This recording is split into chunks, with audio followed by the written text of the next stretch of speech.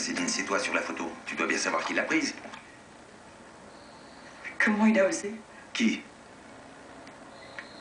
Mon père. Qu'est-ce que ton père a à voir là-dedans Il y a trois ans, j'ai eu une histoire avec un homme.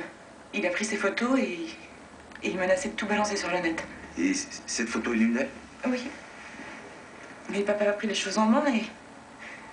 Je te le connais, j'ai plus jamais entendu parler de cette histoire. Oui, mais comment il peut penser qu'une photo vieille de 3 ans peut me poser un problème Et il veut pas qu'on se marie. Alors tous les moyens sont bons.